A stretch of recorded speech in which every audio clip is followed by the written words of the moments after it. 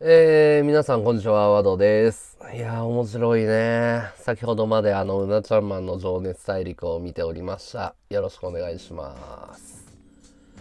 いやー、面白い。えー今日はですね、2017年10月の6日、えー8時7分です。よろしく。いやー、レジェンドには勝てないっしょ、これ。面白さの桁が違うもんな、本当に。もうぶっ飛んでるよね。ぶっ飛んでる。レベルが違う。いや、面白い。何回見ても面白いからね。何回見ても面白い。はい、若津、風船さん。風船若津。いや、面白い、もう。ずるいよな。いや、こんなさ、本物の配信者たちとさ、肩並べる。いや、もう座ってるだけで面白いっていうぐらいの域じゃん、もう。マジで。もうなんか何もしなくても面白い状態まで行くって相当すごいことなんだよ。レベルが違うよ。レベルが。うん。レベルが全然違う。桁違い。え俺の伝説見たい？え、俺の動画見たい人手挙げてじゃあ。枝豆にはもったいねえもん面白いのね。俺の動画も見る？じゃあ、一個だけ。見たい人手挙げて。見たい人。うん、じゃあ行きますか。ちょっと待ってね。行きます。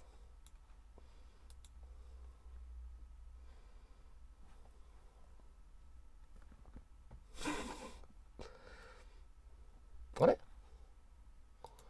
あ、ごめんごめん、こっからだ。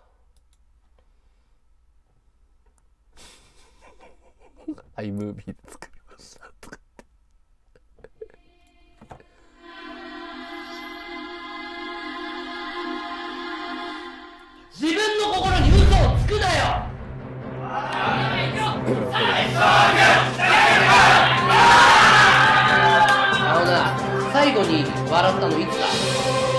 最後に本気で笑ったのいつだ？なあお前全然泣いてないだろ最後笑ったのいつだって聞いてんだよ本気で喋ってんのいつ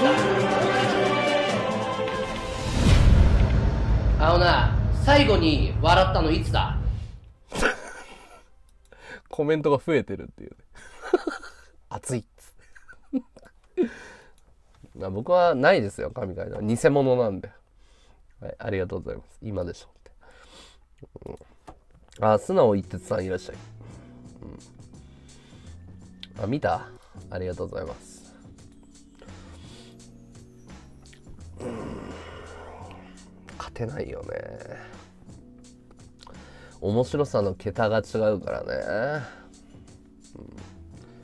ずるいよ何話しても面白いんだもんあの人たちはずるいよ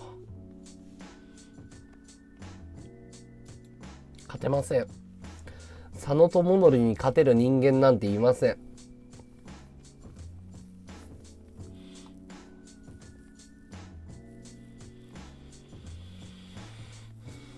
天然には勝てないよ。本物には勝てないんだよ。フェイクだから。フェイクだから、所詮。本物だから、向こうは。いや、来るよね。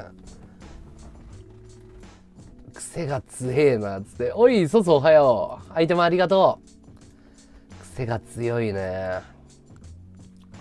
面白い。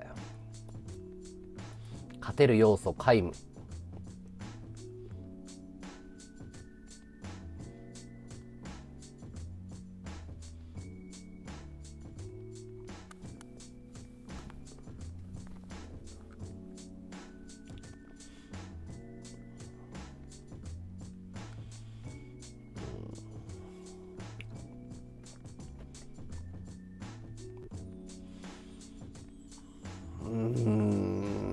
神回を複数持ってるっていうのがもうレジェンドたるゆえんだよな。たその神回ってやっぱ神の名を冠る放送回のことですからなかなか生きてて神の名をつく現象を起こすことないでしょみんな神の冠がつくんだよ。で、うなちゃんマンなんか神回何個持ってるよっていう。ゆいがさんも。やっぱ神回1個や2個の、なんかね、その辺の生の人はわけが違うよね。レベルが違いますよ。生きてるだけで神回だからね。だってあのクオリティを今でもやってるんだよ。ぐだりがないんだよ。そう考えるとすごくない？もうねく、8年とか9年とかその域でやってるんでしょ？すごいよな。だって俺、この前たまにチラッと見たらまた鶴の神煽ってたからね。マジかこの人と思ったもん。マジか。やべえな。全然懲りてねえな。すごいよな。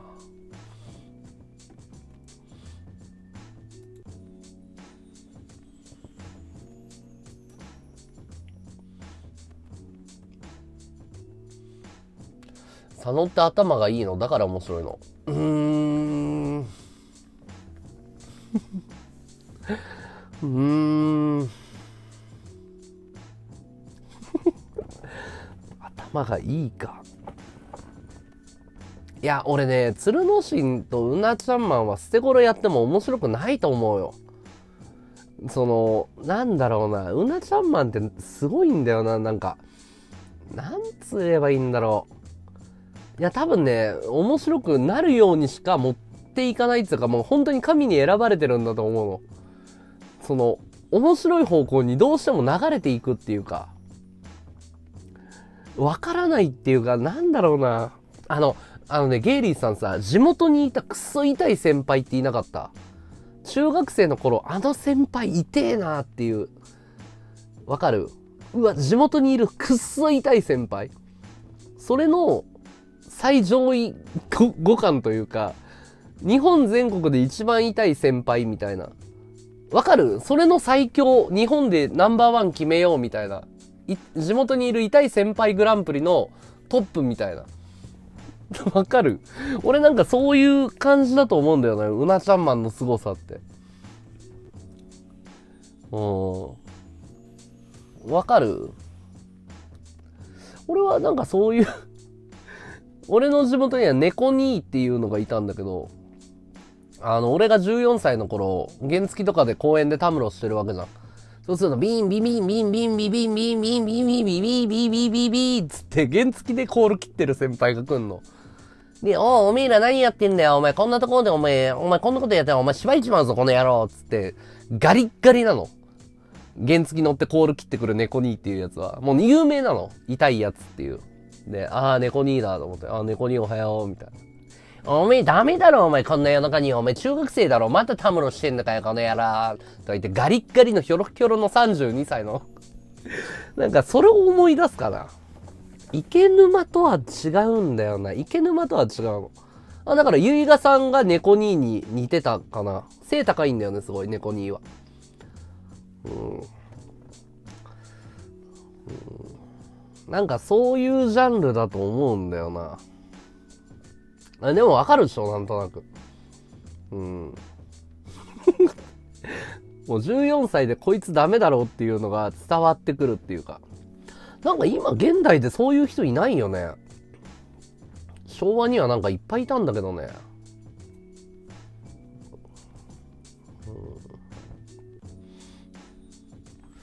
うん、ミッツマンゲローブ懐かしいな。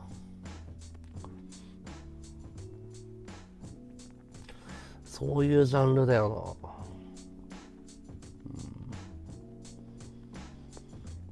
な。なんかその地元にいた面白い人がなんかネットで誰でも出ちゃうっていうか、こ、こ、小屋さんいらっしゃい。小屋さんいらっしゃい。こんにちは。おい、おはようございます。バーガー50個もありがとうございます。104さん。ありがとうございます。ありがとう。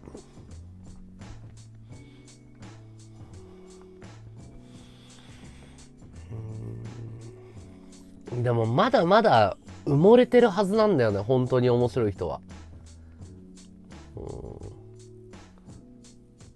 なんか地元にいた面白い人って結構掘り下げ、なんかその面白い人いるじゃん、地元にいた伝説の人みたいな。なんかそういう人を探しに行くっていうのはありだよな。今、ね、いないのかな、そういう人。最近寒い。もう今日から暖房入れようかなって思った。今日は暖房欲しいなと思って。だって、なんだろうな。え、でもね、俺ね、うなちゃんマンは、嘘をついてるっていう感じじゃないと思ってて、誰なんだろう、ふかしっていう表現をし始めた人すごい上手くて、深い、ふかしなんだよね、やっぱり。その、ふかしっていう言葉は、誰が考えたんだろう。半袖きつい。そう。俺もちょっともう昨日から肌寒かったもん。どうしよう、上着。地元にいるクソ痛い先輩。えー、そういうのが受けるジャンルなんだよな。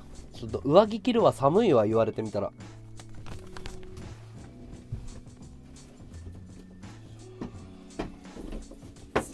寒い。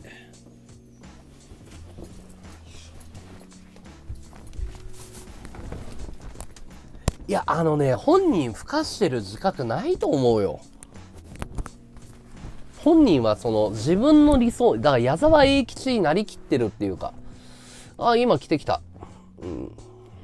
矢沢永吉になりきってるっていうか、もう佐野智則を演じきってるっていうか、そういう感覚に感じるかな。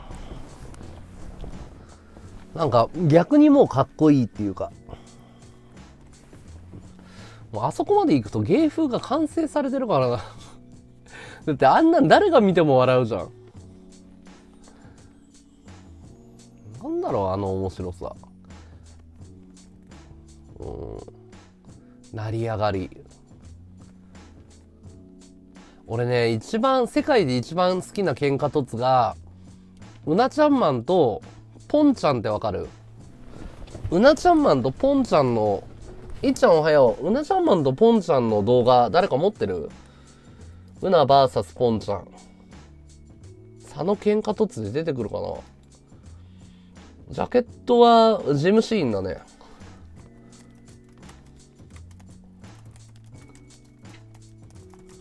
うなの喧嘩凸残ってるかな？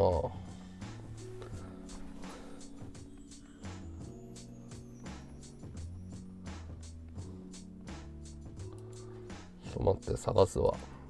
ポンちゃんってわかる？あの、ヌマップのポンちゃん。ヌマップのギャラドスって呼ばれてる。それの、多分これかなちょっと待ってね。これかな？で伝突いらないよも多分これだと思うけど。これだ。うもしもしもしもしもしもし。もしもし。この喧嘩と聞こえてますよあ、どうもです。いいやまあまあどうもでしたけどどどうしました？よ そう、え、でも、お疲れみたいださ、思って、そう思ったのもあるかな。俺はね。俺的に。は？え、いや、俺的にそう思う。いや違う俺的にそう思うの前にうん。な何に思ったんですか？え、だから、うんすごいのかなって、あのちょっと一つ言っていいですか？あの今日はなんでお電話いただきましたかね？た、いや、例えばの話。いや例えばじゃなくて今日今日今日この電話をなんでかけたのかってことを聞きたいんですよだから、なんて言うんだろうかな。その、まあ、でも、いやまあでもじゃなくてねあだからなんで俺に電話をかけたのかって、なんか言いたいことあったんじゃないですか？いや、だから、そこかよ。いや、そこですよ、そこ。いや黙って、だから、いや、黙ってってなんだよ。あ、いやいや、できて、違う、違う、そういう意味じゃないかうら。そういう意味じゃない。ね、ん。何どうしたのよ？じゃあ、ゆっくり聞くよ。どうしたの？すごいよね、だからこれ。ゆゆっくりでいい、ゆっくりで。うん。いや喧嘩しようとしたんだよ。喧嘩をしようとした。すげえ、すげえ。ツーンってなんだよ。いや、じゃあ一回切って後でかけよう。次役もやるから。ツーンって次役、またかけてきな。うん、待ってるから。すごいな。うん、次は、次役でもうちょっとまとめてからね。勝つからって。待って、待ってるから。はい、はい、はい。次役ね。面白いよね。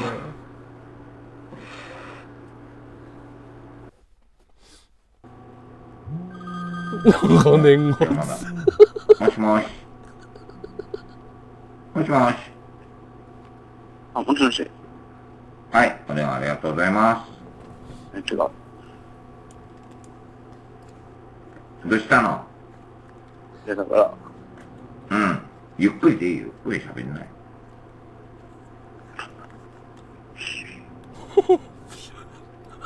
どうしたかよ。なんなんか言いたいことあんだったら言えばいいよ。だかうん。怒んないから怒んないから。いや、怒っていいんだよ。うん、だめいいけど、な、なんだよ。だから怒れよ、じゃあ。いや、じゃあそうじゃなだからく怒れよて、なんかちょっと言いたいことあったんだろ？だから、勝つか。ゆっくりでいいから、勝つから。うん。何？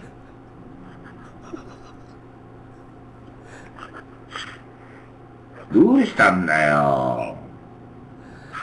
い。思ったこと言えばいいじゃんよ。いや、言っていいんだよって俺もさ、あそっかってだから、んムカつくんだよ。俺のことムがカつくんだよ。だって具体的にどの辺がムカつくのか言えよ。上から、上から偉そうに、偉あそうに。上野から大いつもいつもそうじゃ。あ、俺がいつもいつも上から目線みたいなこと言ってるってことな。謝れよ。うーん、具体的にどの件に関してとかもあるじゃねえかよ。お前、なんだか、お前が、だってさ、普通に考えても俺なんて、もう42だぞ。んで、社会的にはもう認められてないわけじゃねえかよ。いわゆる、いわゆるゴミなのよ。いい年こいてさ、放送やってさ。でも、彼っていうか君は若いでしょ？分かってねえよ。いや、俺より若いでしょ。分かってねえよ。俺なんかもうだってこの先何やっていいか分かんないんだよ。27だよ。27は若いよ。だってううちのリスナーみんな27若いだろって言うよ。だって俺42だぞ、お前。うん、27じゃまだまだ何でもできるよ。大丈夫だよ。うん。これからじゃねえかよ。まだ30になってねえんじゃん。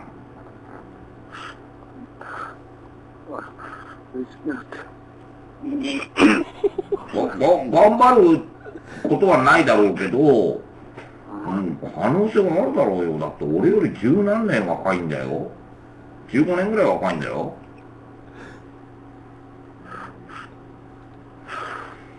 うん。な、なんかやりたいことないのかよ。だから、うん。喧嘩しようと思ったんだよ。ううん、ん。前、前っていうか、うんうんうん。前そうだよ。いや、し仕事とかさ、なんか、仕事の件は関係ねえだろ。だから、今は、うん。お前と喧嘩してやるから。俺と喧嘩か。でもいいよ、俺は喧嘩は。もうだって、お前に勝てるわけねえじゃん、27の人間にお前42が勝てるわけないだろ。喧嘩したって。勝てないよ。なのか。でも、勝てないよ。だって俺なんかもう、あれだぜ、ヨボヨボだぞ。だからって安心すんなよ。まあ安心はして安心してんじゃねえぞ。だから、ヨボヨボだからさ、そんな喧嘩したらしょうがねえし。ふっかけろよ。逃げんのかいよ。まあ、逃げた、逃げるとかじゃないけど、うん。だって叶わねえもんだって、若い面白い人間にねは。ニコ生は面白いコメント。強いと思うよ。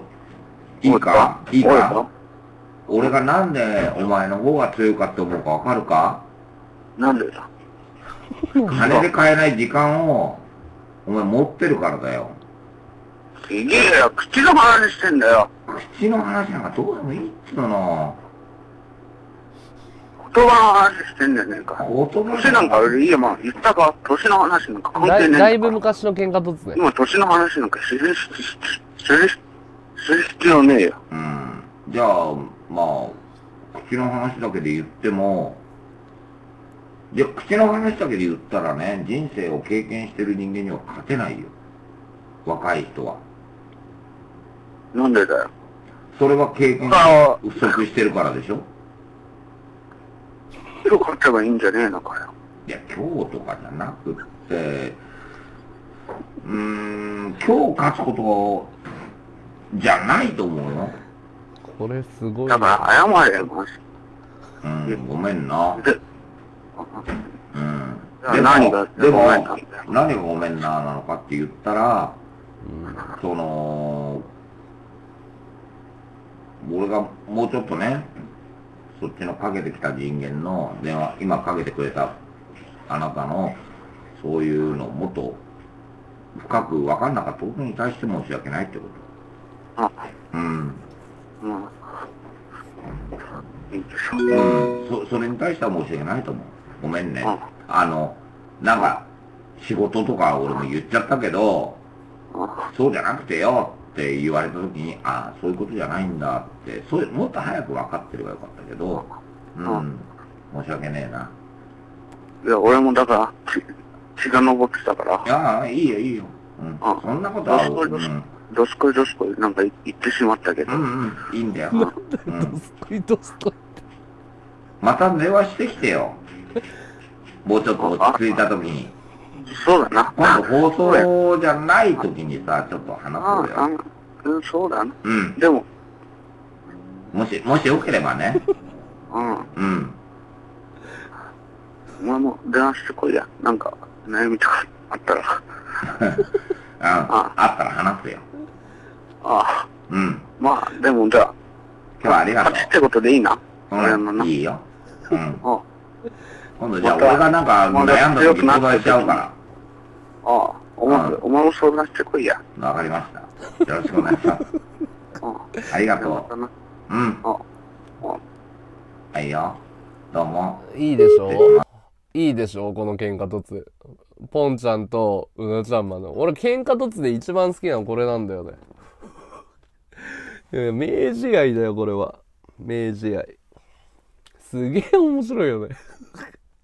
二人の、これやっぱね、ニコ生のね、やっぱ配信者って個性が強いから、どの役割もこなしちゃうんだよね。ボケ役じゃないじゃん、うなちゃんマンが。いじる側じゃん。そう、ポンちゃんなの、これ。おはよう、松田。全然レベルが違うんだよね。だから、そう、ニコ生がやっぱり面白いっていうのは、もう全盛期の配信者の面白さがズバ抜けてるのよ。その、今のツイキャスとかふわっちとか、今のニコ生とかのレベルじゃなくて、こんなのがもうポンポンポンポン出てくんのよ。ただの喧嘩突でもこんなに面白いのね。だからね、やっぱりね、その、ニコ生の過去の方が面白かったっていうユーザーは正解だよ。今の配信に、で、やっぱ流れが良くないよね。初見さんいらっしゃい。和道さんのニコ生も面白かったよ。ニコ生の喧嘩突とかあんのかな？喧嘩突とか残ってるかな？見てみるニコ、和道喧嘩突で出てくるかな？ちょっとみんな、俺のは面白くないよ。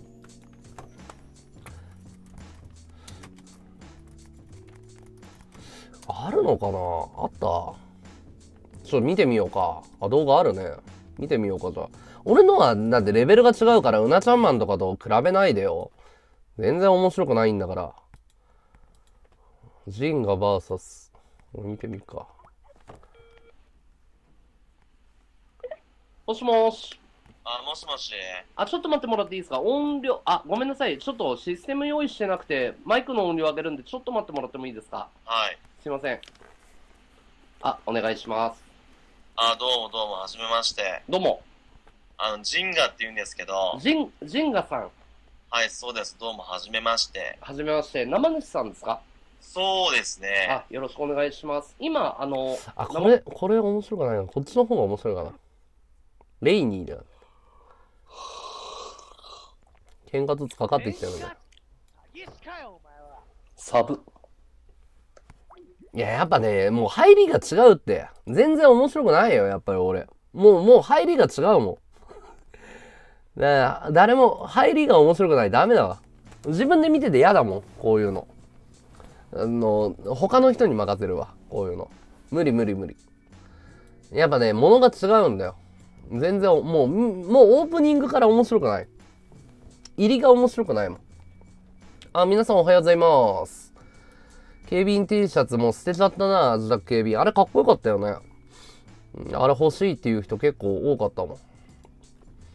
懐かしいよね。自宅警備員 T シャツ。いや、腹減ったなその時代配信の存在知らなかった。いや、もうニコ生何がある？もうキリがないよ。面白いの。何があるかな他に。みんなが大好きなニコ生時代の動画ってなんかある？ああ、そうなんだ。へえ。はいはいはいはいはいはい。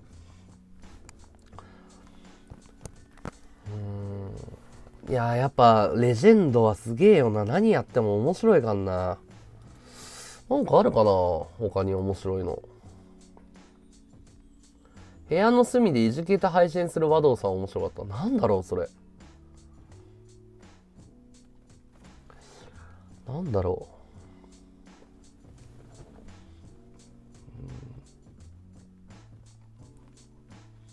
う。いや、でも懐かしいよね。昔の動画とか見るとね。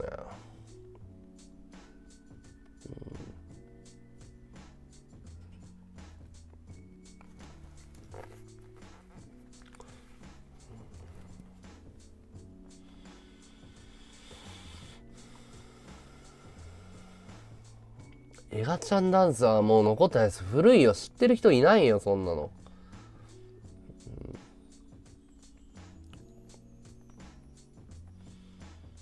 うんいや、懐かしいね、いろいろ。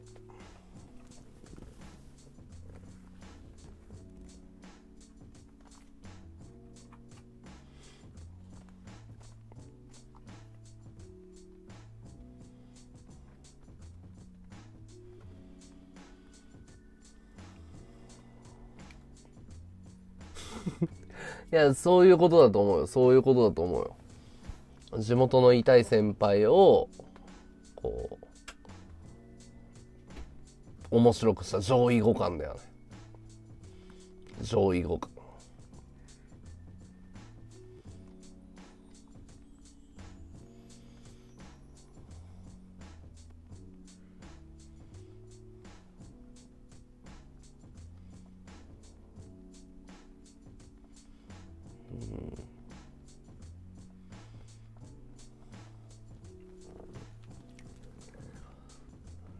懐かしいな。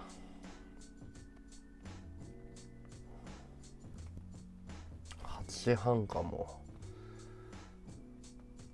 いやあのまんまでしょ。ういやあのまんまだと思うよ。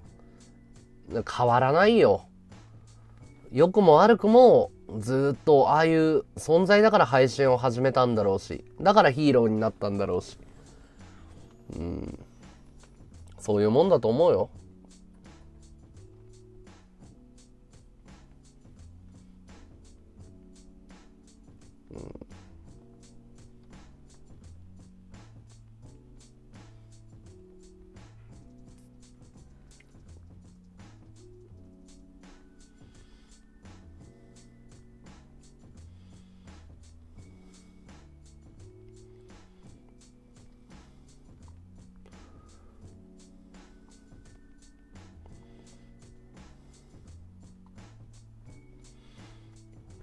ちゃんまんのバールもうやったのいや、バールはまだやってないけど、あれはなんか、ちょっとね、違うからな。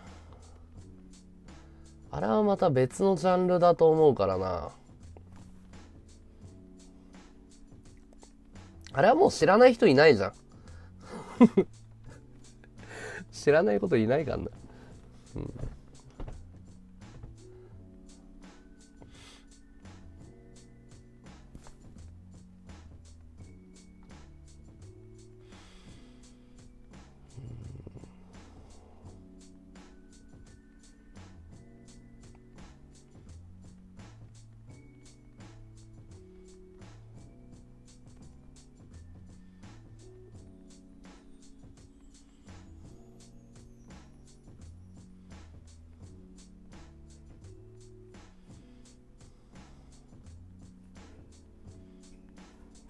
家事。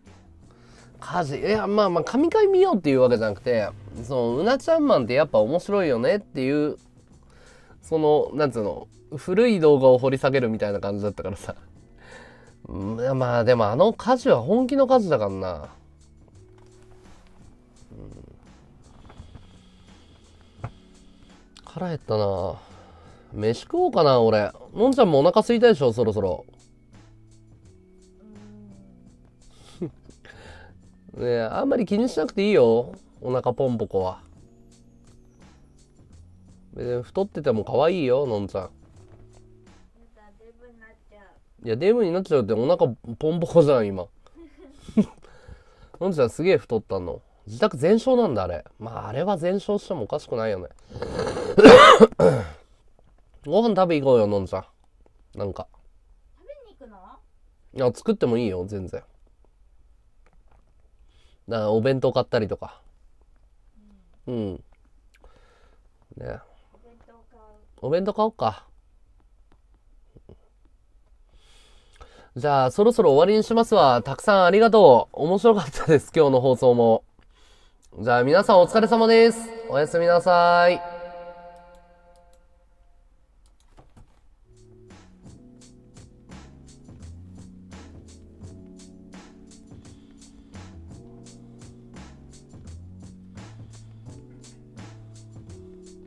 お疲れ様です。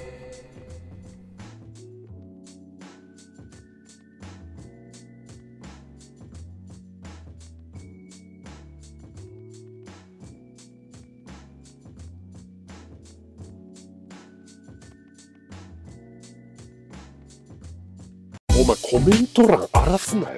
バカとかハゲとか書くなよ。なんでお前動画の内容も見ねえでお前バッドボタン押してんだよもう。